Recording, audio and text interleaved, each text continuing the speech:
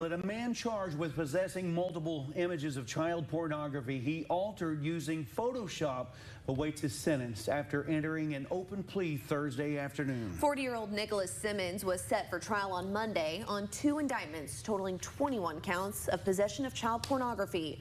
But yesterday afternoon in 78th District Court, Simmons entered an open plea of guilty to four of those charges, avoiding trial, but leaving his fate up in the air. Simmons was first indicted in February of last year on 12 counts of child pornography after police received a tip that someone was uploading explicit content involving children to the internet. They say several of the images were altered and it appeared that software was used to replace the faces of the children with the face of a child they later learned that Simmons knew by name.